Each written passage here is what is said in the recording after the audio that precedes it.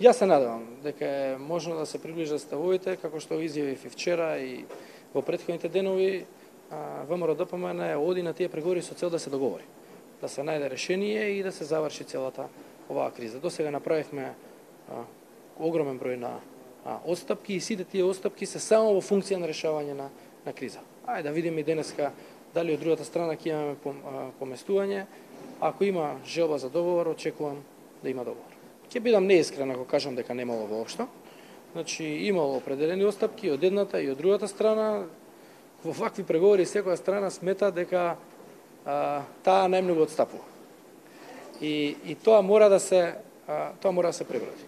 Сега нормално ние викаме дека ВМРО да помне повеќе отстапки направила СДС, само ќе каже дека а, они направиле повеќе отстапки, но сепак а, таква е ситуацијата да треба да се собере храброст и да се а, најдеме на едно заедничко решение.